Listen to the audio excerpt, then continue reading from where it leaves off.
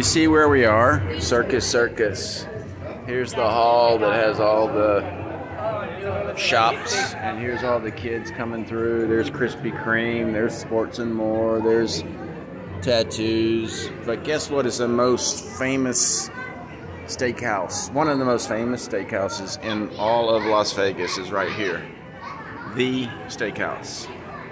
And it happens to be in Circus Circus.